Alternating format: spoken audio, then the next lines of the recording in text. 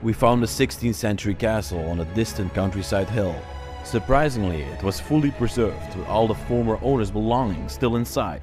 Every room was just as the owner left it behind almost two decades ago, and we even found a museum room with African artifacts like spears and bows. And suddenly, we also discovered a gun lying around in the castle.